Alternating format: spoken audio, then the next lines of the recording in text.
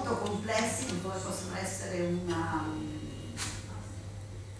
una fotocopiatrice e in diretta si monta spiegandoci i vari funzionamenti. Quindi è una persona ehm, veramente particolare anche nell'approccio diciamo, con la tecnologia. Perché, perché, io sono qui? Perché io eh, in archivio centrale dello Stato mi interesso dei brevetti e quindi gestisco quasi due chilometri e mezzo di brevetti, eh, 900.000 fascicoli e ho conosciuto il professor Marchis proprio attraverso ricerche fatte dal professore in questo fondo, poi è stato lui che ha, ci ha aiutato come archivio centrale dello Stato a avere dei finanziamenti PNR per una digitalizzazione della sede Marchi.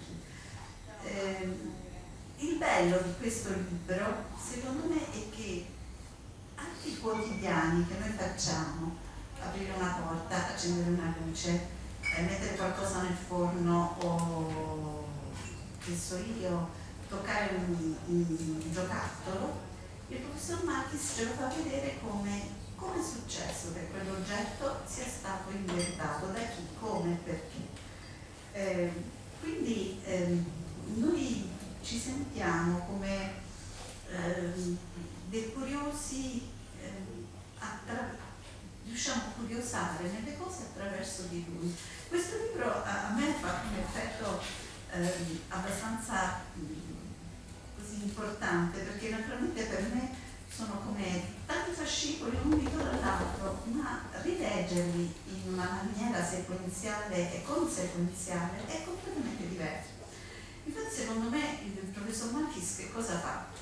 Miscela, secondo me, scienza, fantasia, gioco, rigore e, e scopre quello che c'è dentro queste cose. Eh, io mm, devo dire una cosa, mm, parlerei di questo libro passando dalla, cominciando dalla fine, proprio nell'ultimo, in una delle ultime pagine, c'è qualcosa che eh, ci spiega forse come leggere il libro. Il professore dice telefoni, biciclette, giradischi e robot da cucina, macchine da caffè e apparecchi radio non sono soltanto prodotti delle tecnologie che si rinnovano, ma veri e propri scrigni dove si nascondono le storie più strane, a cui fanno eco poesie e brevetti, canzoni pop e citazioni letterarie, spot pubblicitari, trailer cinematografici.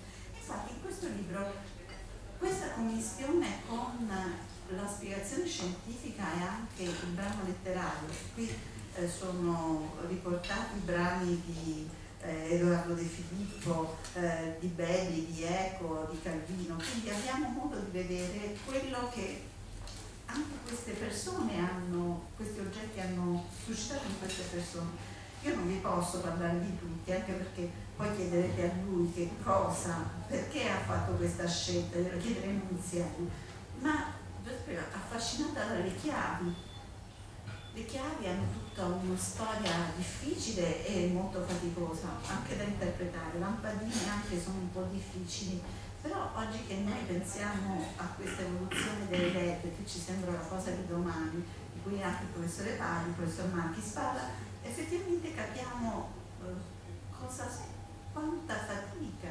dall'Ottocento ai giorni nostri un oggetto così che sembra normale ha dentro di sé. Eh, I contatori, per esempio, un'altra cosa interessantissima anche perché il contatore è diverso a seconda di quello che si conta. Si conta il gas, si conta la luce o si conta eh, gli, uffici, gli, uffici, metrici e gli ufficiali metrici che dovevano stabilire per esempio quanto si dovesse pagare per una corsa di cavalli ma per una corsa del, diciamo, dell'omnibus eccetera eccetera avevano fatto tutto un ragionamento però effettivamente sono tutti macchinari che poi con lo stesso concetto ma molto organizzati vengono usati tutt'oggi. Io come ex signorina di buona famiglia sono stata affascinata anche dal Bimbi, che è un, un robot che veniva portato in dote dalle signorine degli anni 70 insieme a Corredo. E pensare che dal 70 a oggi continua per certi aspetti ad essere uno status symbol perché in effetti costa oggi mi pare quasi 2000 euro. Sì, ma una bella sberla di soldi. Ci sono adesso le banche che ne fanno un'offerta speciale con, con microcredito per le famiglie. Siamo arrivati a questo punto. Il bimbi adesso eh, è una specie di robot da cucina frullatore, però con un vantaggio che scalda anche. Allora il frullatore di solito, il frullatore di solito uno mette lì le banane, fa il frappè, mette le carote, fa il passato di verdura, mette la carne e fa l'omogenizzato, ma non scalda e non cuoce le cose. L'ha trovata allora a suo tempo del bimbi è stata quella di mettergli dentro qualcosa che potesse permettere la cottura. E quindi uno mette di tutto e si fa la minestra di verdura non solo tutto il resto Prego. Ah, mettete delle patate, del latte, del eh, sale e del parmigiano e avete il purè mettetelo temporizzato sì, e vedrete che quando tornate a casa potete trovare, potete trovarlo tanto. È, è, stata una cosa che mi ha, cioè non avrei mai pensato no, questa, um, di trovarlo veramente, sì. perché mi aspettavo cose più invece questa forse non so, mentre mi aspettavo l'aspirapolvere, mi aspettavo altri elettrodomestici. E, mi sembrava una cosa un po'... forse perché gli altri sono più, più antichi. Più antichi, va bene. Sì, è moderno, ma è vero. C'è anche una nuova edizione, diciamo, che non è anche molto più bella. Sì, sì, c'è anche il KitchenAid, c'è anche il Kenwood, c'è anche tutto il resto. Eh. Però questo, questo è stato rimasto. Poi ci sono prende in esame il, questo libro anche le macchine da cucire.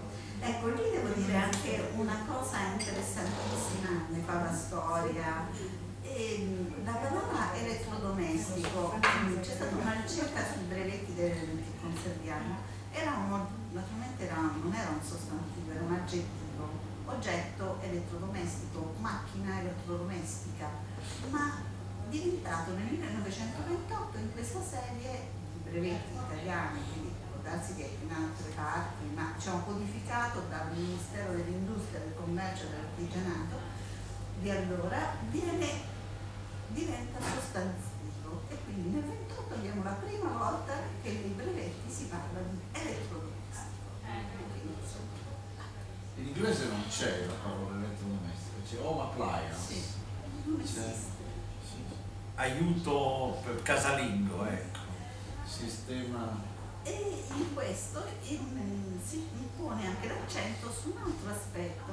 Sì, va bene, sappiamo come italiani che abbiamo un design fantastico, ma le macchine da cucire hanno avuto dei grandi disegnatori, perché c'è stato Gio Ponti, Zanuso, Mangarotti, ma anche altri. E se venite a vedere questi brevetti italiani della Necchi, eh, delle altre, Marco Olivetti, sono veramente bellissimi. Tant'è vero che poi negli anni 50-60 siamo stati i più grandi esportatori non per la tecnologia, come dirà il professor Martis, ma per la forma. E poi questi elettrodomestici che diventavano bianchi, quelli da cucina, marroni, scuri, diciamo, quelli radio, televisione e quant'altro. Eh, per esempio, una cosa interessante, perché lasciamo perdere la lavatrice, di cui diceva che era lui perché complessa, ma invece la lavatrice complessa, anche se bisogna dire che eh, la lavatrice cioè, si è modificata e ce lo possiamo ricordare noi, loro no, erano già due vaschette quando eravamo piccoli, uno per lavare e uno per strizzare. Quindi erano due... Mangano. Eh, c'erano due no, era già elettrica. Era già elettrica, ma invece sono, sono ancora più vecchie. Tu vai a più vecchio. Ricordo invece ci sono proprio due cestetti separati. Un'altra cosa interessante è anche il fatto che in questo libro viene messo in relazione non solo l'oggetto, ma come è, eh, quali industrie e perché certi oggetti elettrici o non elettrici hanno avuto fortuna nel tempo ovviamente ricontestualizza, cosa che è abbastanza difficile perché ehm, diciamo, per noi è una, una, cosa normale, siamo certi di quello che abbiamo e non ci rendiamo conto dell'evoluzione. Invece qui capire che certi bisogni ci sono stati in certi momenti, certe fortune ci sono state su certe tecnologie soltanto in altri e ehm, per esempio quello parlava qui della radio, no?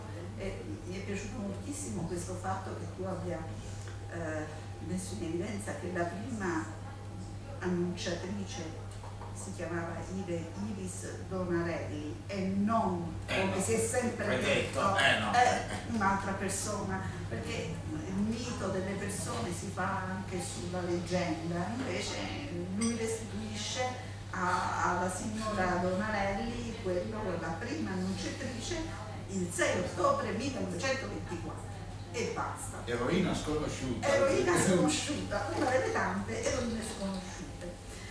Poi um, un'altra cosa che ho notato, oltre il fatto che eh, se voi sfogliate il libro vedete, oltre che ci sono tante evidenziature, tante, tante immagini evidenziate, ci sono delle immagini bellissime proprio di oggetti ehm, che diventano quasi oggetti d'arte, forse sarà una mia, una mia de, deformazione.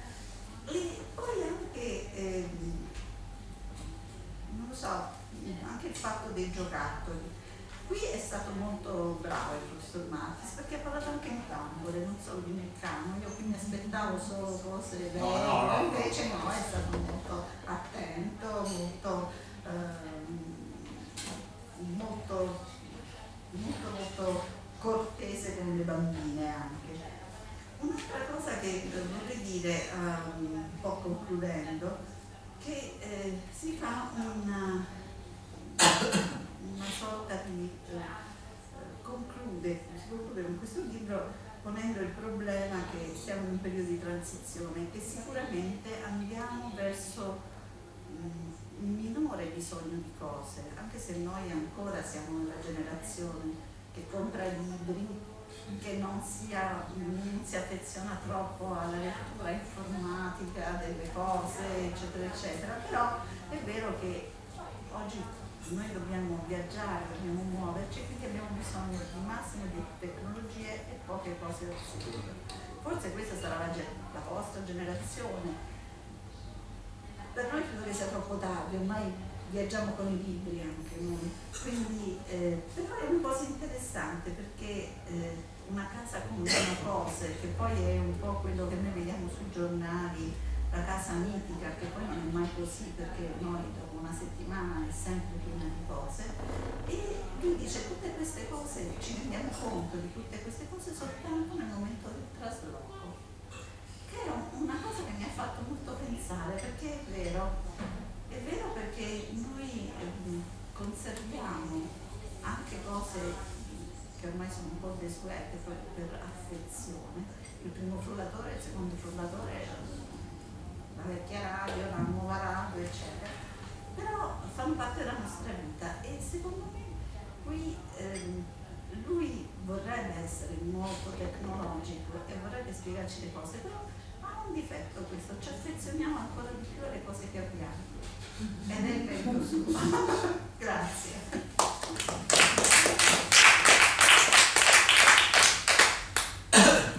Ma io adesso innanzitutto Margherita ti ringrazio per, il, per la presentazione che ha fatto saltare fuori delle cose che certamente sono nascoste nel libro ma che hai saputo tirare fuori con assoluta curiosità e assoluta simpatia. Due cose vorrei soltanto aggiungere per forse spiegare meglio a chi non mi conosce. Tu hai accennato prima a questa mia attività che ormai è più che decennale di autopsie di macchine. In realtà le autopsie di macchine, adesso qui faccio una specie di scusto, siete molti. Spero di non dovermi vergognare. Ma su internet no? Sì, sì, ma su internet, certo, certo che va su internet. Va bene, va bene, va bene, va bene, va su internet, va bene, infatti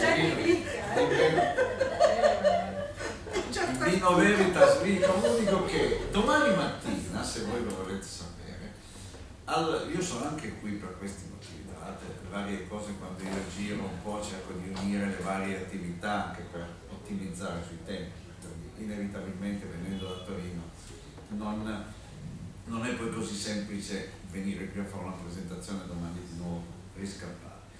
Domani a TV 2000 io farò l'auto in diretta, domani mattina alle sette e mezza del mattino, però poi sarà replicata se volete, io farò in modo anche questo di mettermi in te. Niente po' di meno che, diceva qualcuno ai tempi che furono, una cosa che non ho mai fatto e che mi sta preoccupando alquanto, perché mi hanno detto che hanno già trovato il cosiddetto, quello che io chiamo il cadavere da squartare, di un forno a microonde. Il forno a microonde è un oggetto che secondo me è uno dei tanti oggetti misteriosi che stanno in casa, in casa nostra, e che mai nessuno ha aperto pubblico, neppure su YouTube si vede nessuno che sta aprendo un forno a microonde. Non è poi così facile trovare dei forni a microonde ormai che hanno sono passati a miglior vita e che quindi possono essere ai sensi di ogni comitato dei garanti per la bioetica, la tecnoetica, eccetera, eccetera, eh, essere poi aperto e dissezionato in pubblico.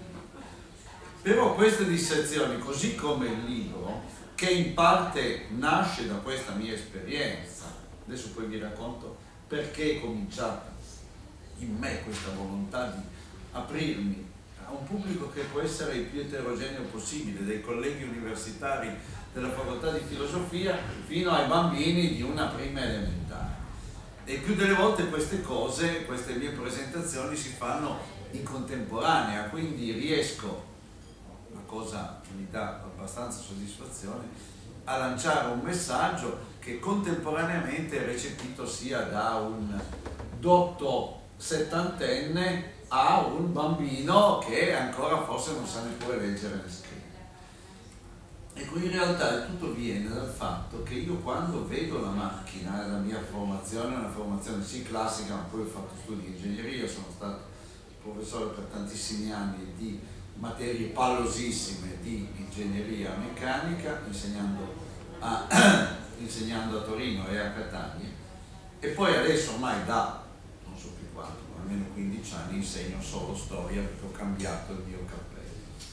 In realtà la cosa importante è capire che dentro qualsiasi oggetto non c'è soltanto la tecnica, l'oggetto tecnico il più tecnologico possibile, fosse anche uno smartphone, dentro non ha soltanto la tecnica ma c'ha tutto il contesto che lo porta a convivere con noi.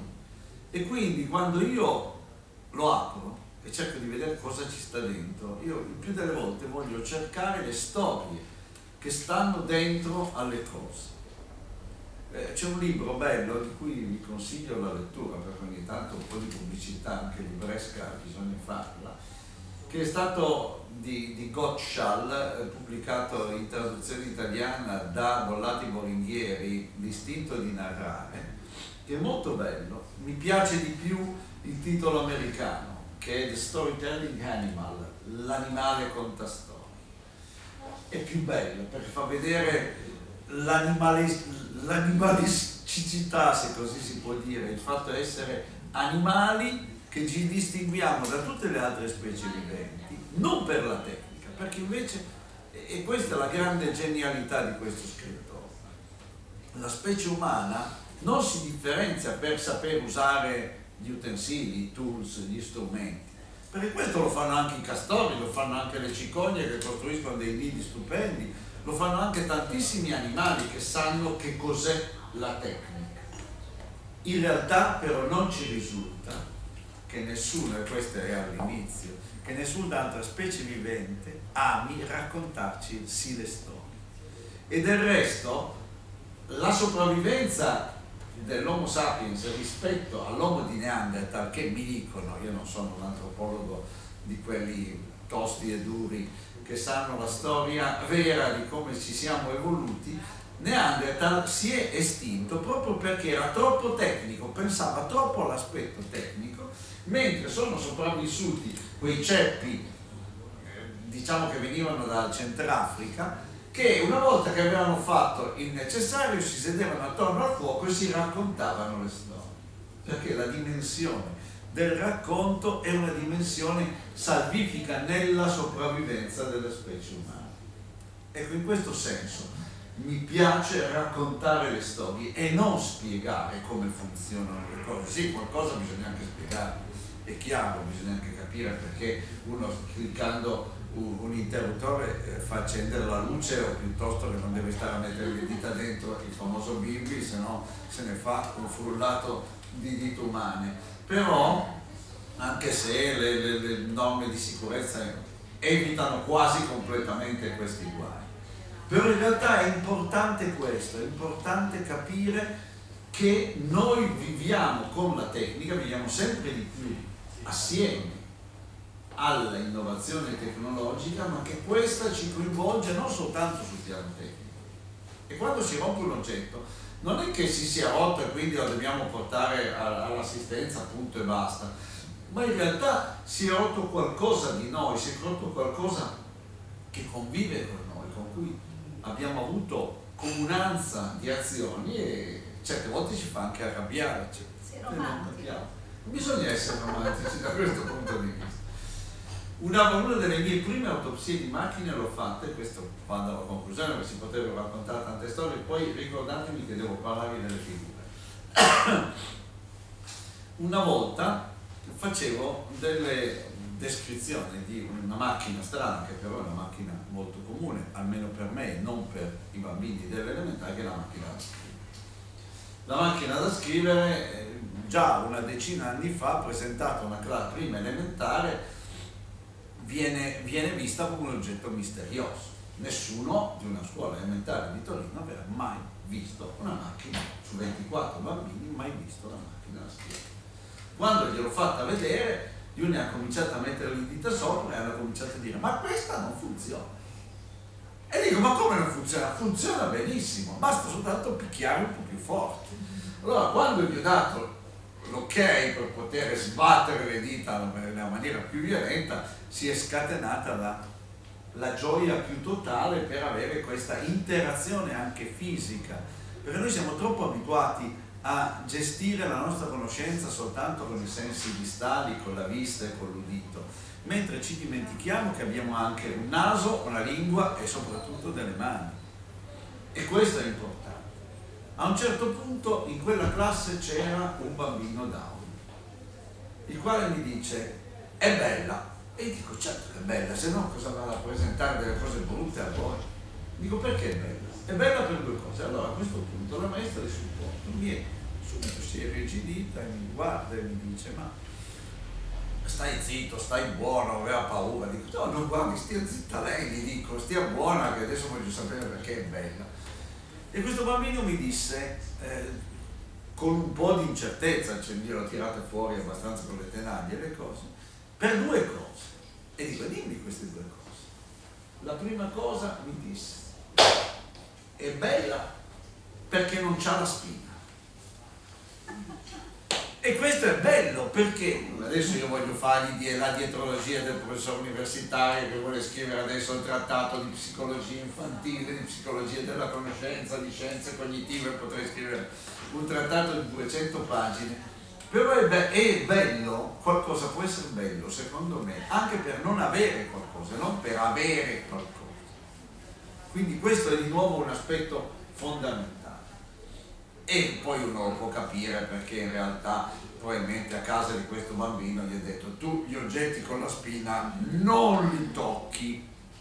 Questa è la mia spiegazione razionale da ingegneri quell'altra è una spiegazione molto più poetica molto più direbbe la collega romantica ma pur sempre secondo me molto più efficace. E gli dico ma è la seconda cosa? Lui mi guarda e non riuscivo a fargliela dire miseria, adesso tu mi hai detto due cose, c'erano tutti gli altri eh, bambini eh, della scuola elementare zitti, la maestra e la maestra del supporto zittite da me, lei stia zitta, nessuno aveva mai sentito che qualcuno dicesse alla maestra stai zitta, per cui era una cosa terribile. E mi dice, mi guarda e dice, c'ha dentro la stampante.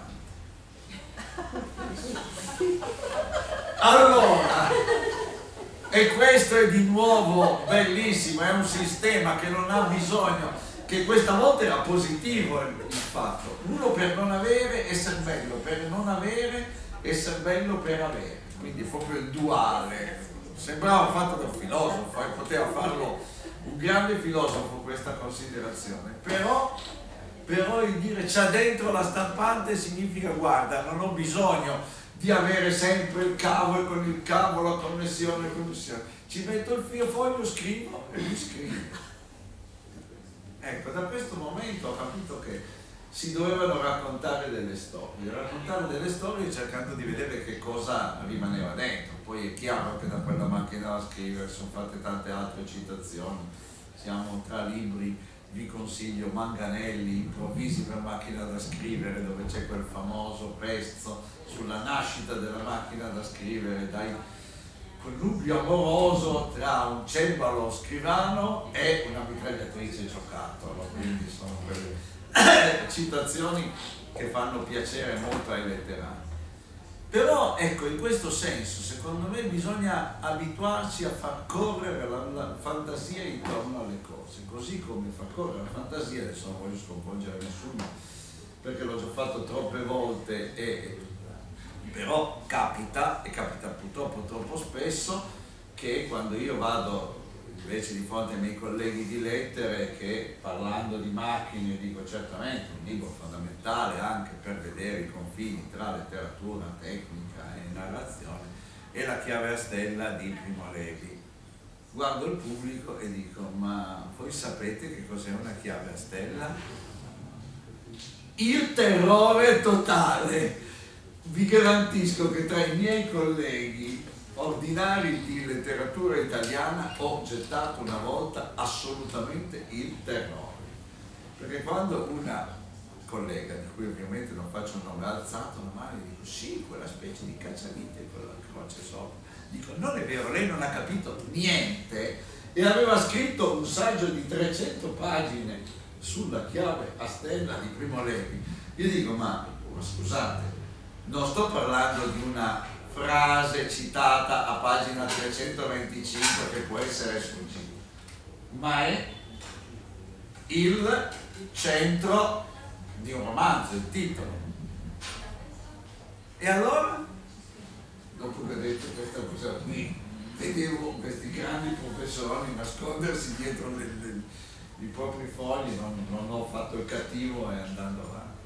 Ecco, dicevo, l'ultima cosa che volevo dire, perché poi non è il caso di trattenere troppo il pubblico perché qualche domanda c'è, sottopongo a voi quest'altro discorso parallelo che è fatto da queste pagine aperte, questi incipit della, del libro, che introducono ogni nuova macchina, ogni nuovo oggetto. Sono dei collage che ha fatto questa designer Carlotta, vuole che si chiami soltanto con il nome, di White Design di Milano, che sia appassionata del libro proprio perché è bene far vedere che anche da un punto di vista grafico ci deve essere una, una narrazione uno scatenamento della fantasia. Ecco, vi consiglio, guardate questo signore qua, qui siamo di fronte all'aspirapolvere.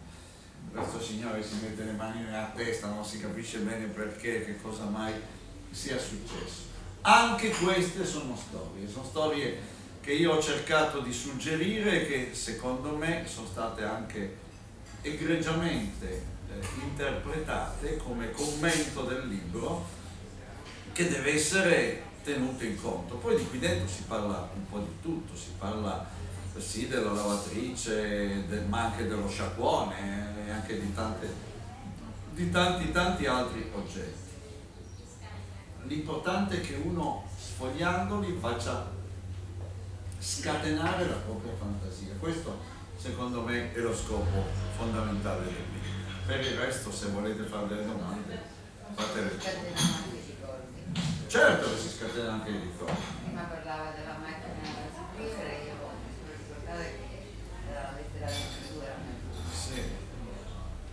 Ma eh, sulla macchina da scrivere, se voi avete occasione di andare a cercare su YouTube, ci sono dei pezzi bellissimi di un film di Mario Soldati con Renato Roscher e Carla Gravina come attori che si chiamano Policarpo De Tappetti, ufficiale di scrittura, il quale dimostra ancora una volta che la tecnologia, e non soltanto la tecnologia, quella delle, dei bianchi che determinano negli anni 50-60 la liberazione della casalinga, che si può emancipare dall'andare a portare al lavatoio i panni da lavare, eccetera, eccetera. Perché all'inizio del Novecento quando la macchina da scrivere arriva nei ministeri, è proprio la macchina da scrivere a sconvolgere il comparto degli impiegati ministeriali, che prima erano uomini ufficiali di scrittura, che scrivevano in bella calligrafia i testi che i funzionari scrivevano a zampe di gallina, mentre do l'introduzione alla macchina da scrivere proprio per la maggiore facilità per le dita femminili ad agire sulla tastiera della macchina da scrivere sono nel giro di pochissimo tempo scomparsi, soprattutto in queste città dove c'erano i ministeri, tutte le categorie degli ufficiali di scrittura, dei famosi calligrafi, per lasciare lo spazio alle datilografi che hanno... E c'erano grandi scuole di... molte scuole di datilografia. Ecco, in questo senso la tecnica da sempre e da sempre bisogna tenerlo presente, non deve essere solo demonizzata come abrutente, eh, alienante, eccetera, eccetera. Eh, già al tempo dei Romani, il primo secolo d.C., Antipato di Tessalonica cantava nell'antologia palatina, se vogliamo fare poi dotti, del fatto che le ninfe, Demetra e le ninfe avevano insegnato alle donne l'uso della ruota da mulino che le rendeva libere dalla macina, cioè la macina quella che si doveva fare andare avanti e indietro come si fa ancora in molti paesi del Centrafrica per macinare i cereali. Poi c'è stata la macchina, la macchina a scrivere, ma prima c'era stata la macchina da cucire che è il primo meccano domestico, non si può chiamare elettrodomestico perché non era elettrica, che ha, che ha in realtà creato nuove categorie, nuove professionalità, quindi non lamentiamoci troppo della tecnologia, l'unica cosa è continuare a mantenere quella attenzione senza demandare troppo a realtà esterne quello che in realtà deve essere anche parte di noi stessi. Non abbiamo paura di capire come funziona un bimbi piuttosto che non un aspirapolvere.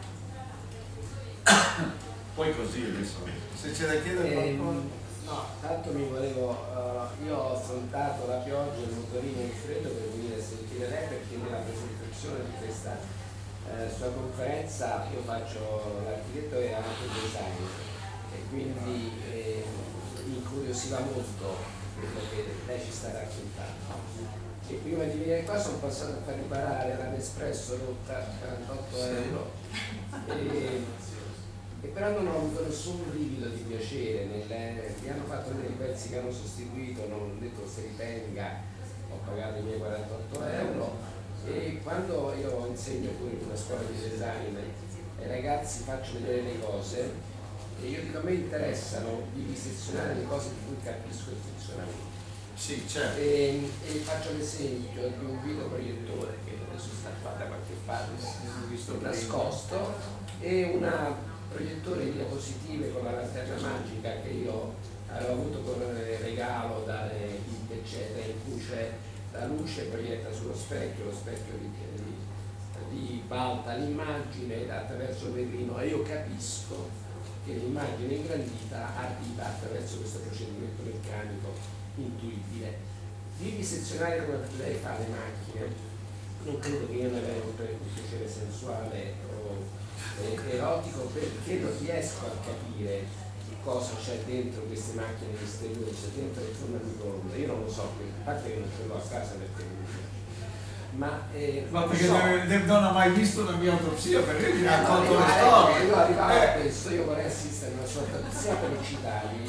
Ecco, allora- allora, guardi- a capire dov'è il piacere nel Nel- nel macchine. allora, io le posso dire- che lei mi facesse un'autopsia eh, su una, eh, un meccano, su algo che io riesco a capire che Ma lei lo può, posso Eh, dirle questo? per cui Guardi, io ho l'esperienza sul design industriale ho insegnato anche. però io vorrei assistere alla sua Allora, ben volentieri io invicchiamo qui in causa la dottoressa Martelli perché trovi l'occasione, perché possiamo farlo in tempi molto io le posso recenti. tenere i freddi, posso fare Sì, sì, sì, ho ma anche conoscenze di allora se lei mi lascia, se lei mi lascia una un- un'email o un Certo. indirizzo adesso io le posso già inviare Sì. delle indicazioni su che cosa c'è e che cosa non c'è, cosa è stato fatto, cosa non è stato fatto. Poi se mi dà anche un eccezionalmente eh, io le posso, cioè su, su un CD abbiamo registrato qualcosa su alcune, per esempio di un contatore della luce che è un qualcosa di assolutamente complicato, incomprensibile per il no- 90% delle persone.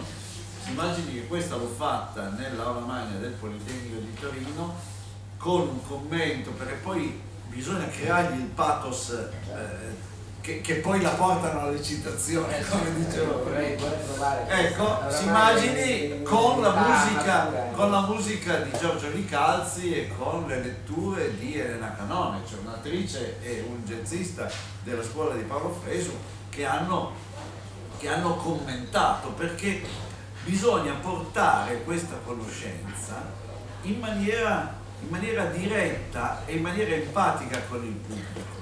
La Nespresso, la macchina, non esattamente la Nespresso, ma la macchina della lavanza, l'ho fatta ben due volte. Se me la faceva a me non pagavo 48 euro di riparazione. Allora, due volte, due volte, poi mi hanno fatto girare un po' le scatole perché ho detto, una volta l'ho fatta alla Cavallerizza a Torino, al teatro della Cavallerizza a Torino, questo un anno e mezzo fa. E ho detto alla lavazza, posso dirlo senza, senza cattiveria nei confronti di nessuno, gli ho detto ma almeno mi offrite un pacchetto di, di- di caffè, niente, mi hanno dato un cadavere veramente cadavere. Però adesso non voglio anticiparlo perché semmai la, eh, la macchina da caffè dovrei ripeterla, se non vado errato, nei prossimi mesi al teatro anatomico dell'Università di Torino. Me l'ha chiesto un mio collega. Però non è difficile, se voi mi trovate, l'unica cosa che io chiedo al, a chi mi invita di trovarmi i cadaveri, perché andare in giro a cercare anche cadaveri, l'ho anche fatto, ma non è poi così, non è così, così semplice. Per quando le ho fatte al, sì, ma quando le ho fatte, perché ne ho anche fatte anche all'estero, anche in Canada, anche in Svezia e negli Stati Uniti, quindi eh, e lì mi ricordo una volta che ho fatto autopsia di un aspirapolvere all'Holyoke College di eh, Northampton in eh, Massachusetts, in un eh, college che dai tempi degli anni 70 era il college regno del femminismo. Regno del femminismo per cui c'erano corpo docente solo di donne, corpo allievo solo di donne e tutto. E lì eh, ho trovato invece delle ragazze stupende che mi hanno fatto da assistenti. Alla mattina siamo andati, mi sembrava un gallo nel pollaio, no? ma fa lo stesso, siamo andati in un dump, in una specie di centro ecolo di raccolta ecologica differenziata. Abbiamo trovato il cadavere dello spino l'abbiamo aperta, abbiamo cercato di raccontare le storie. Immaginate che poi per problemi di igiene anche, perché poi negli Stati Uniti, soprattutto sugli scossi, sono molto attenti, molto, molto puritani in questo, allora guanti, mascherine, ziploc per mettere le cose e prendendo con le pinze, ovviamente essendo veramente un cadavere di aspirapolvere, quando l'ho aperta dentro c'era di tutto, perché non avevano svuotato ovviamente andandolo a buttare quello che c'era. E lì dentro abbiamo cercato di raccontare le storie di quello che era rimasto lì dentro, perché quella è stata la cosa più importante di tutto il resto. Voi non ci credete. E qui svelo l'ultimo colpo di scena. Quando finisco la mia autopsia dico, cari signori, voi avete partecipato a questo evento, adesso se volete, come capita in tutti i veri riti, potete prendervi una reliquia del cadavere e portarvela a casa vi garantisco che non è mai successo che siano rimasti dei pezzi sul tavolo. Sempre. E allora, dato che le abbiamo messo in queste buste ziplock, quelle che si chiudono con la zip sopra, ci sono queste ragazze di questo college, ci sono, dato che avevo fatto anche poi la schedina, polvere da tappeto, eccetera, eccetera, oppure eh, residuo, residuo di colazione, residuo di colazione, eccetera, eccetera, si sono portati via anche le buste contenenti il pattume, perché erano state sublimate in una dimensione, diciamo così, di reliquia Necrofilia tecnologica. Necrofilia tecnologica.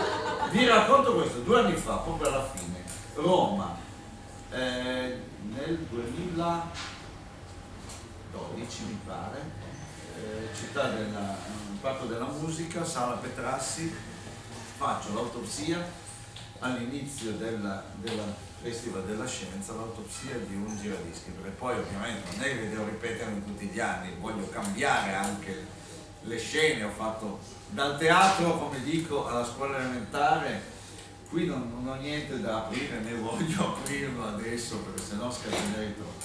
E lì aprivo un, eh, facevo l'autopsia di un giradischi, di un giradischi di quelli a braccio. Immagini avevo di fronte a me un migliaio di persone ed ero da solo sul palcoscenico, quindi è stata una cosa abbastanza coinvolgente, abbastanza pesante. Riesco per fortuna a finire dopo aver dovuto usare la sega per tagliare la cassa, però non riuscivo ad aprire. Con una fotografia che ha girato anche qui su, su Repubblica di, di Roma e poi alla fine metto tutti i pezzi sul, sul palcoscenico e invito il pubblico che ovviamente si scatena e fa scomparire tutto pile esauste e già un pochino con quella bagnetta schifosa che fanno, comprese, anche loro hanno messe dentro una busta, ma anche quelle sono scomparse. Cosa impensabile. Alla fine lì c'era ancora l'assessore Borgna, c'erano tutti gli altri, c'erano Telecom che sponsorizzava la manifestazione, lì vedo un signore di 60 anni, spero che non sia qua, no, non lo, riconoscerei, che viene lì e mi dice sono veramente contento. Dico, ah, mi fa piacere, sai, io sono uno dirigente di te. E sono veramente contento, ma lei non sa perché. E dico, no, non lo so perché, mi dica perché è contento e così, non dico gli ho detto, la facciamo finita, però è abbastanza stanco. Lui mi fa così, apro la chat, sono riuscito a prendere il braccetto del giraggio. fa così, lo nasconde e va via. Guardate, io mi sono trattenuto da ridere, ma gli avrei non so cosa detto sembrava un ragazzino di 12 anni. Era riuscito a prendere il braccetto del giradischi. Ecco, in queste cose qua, quindi c'è... Infatti io lo, lo, capisco, perché è una cosa... Eh, bene o male io capisco come funzionano i piratisti, c'è cioè questa funzione. Sì, sì, ma vedrà, vedrà. Allora, se lei invece te l'hanno espresso, che ripeto, sì, se sì. l'avessi saputo me la riparava ma no, non rifà. invece una Vialetti che è in sé una, un, un piacere Sì, maggiore, sì, sì. fatta autocanale perché uno prende la mano, riesce a fare dritto per aprirla e chiuderla, si capisce che l'acqua bolle, passa attraverso il caffè, esce la schiumetta, io mi agito di più. Va bene, allora farò in modo da avere anche la versione, la versione eh, eh, faccia Eh, lei. Non so se qui avete il libro sempre di 150 anni di invenzioni italiane di codice, ce l'avete o no? Eh, ce l'avevamo. Ce l'avete, quello che è uscito due anni fa. Sì, sì. Prima di questo c'era un... Io due brevetti li ho fatti da voi, però non hanno non sono serviti a niente, però Peccato. peccato. Peccato! Che Mi dispiace. portato, però. Invece, invece, invece, un po' mi piace già fatto mezzo, adesso Ma una- invece, prima di arrivare alla morte degli elettrodomestici, si dice che c'è questa voce, dice che quelli odierni siano o meno resistenti o addirittura programmati per rompersi. entro- Sì. C'è qualcosa di vero? Ma allora qualcosa di vero c'è, qualcosa di vero c'è, soprattutto ci sono, adesso facciamo un salto indietro, ci sono alcuni eh, mezzi di trasporto, per esempio, tanto per fare un esempio, la Tata indiana, la, la- la Vespa tipo Tata indiana, è fatta in modo che non possa essere riparata. Ci sono mezzi che costano molto poco e ai quali non si vuole dare assistenza per il vero costo di un, di un sistema post vendita è quello di mettere a punto tutto il l'ambaradà degli uffici, negozi di riparazione con i magazzini, i, con i magazzini dei pezzi di ricambio, eccetera, eccetera. Allora, per quello, in quel caso lì lo so per certo, ma anche in tanti altri casi, si sono usati dei particolari, delle particolari viti che una volta che sono serrate, se uno cerca di aprirle, si rompono e si spezzano. E a questo punto il gioco è.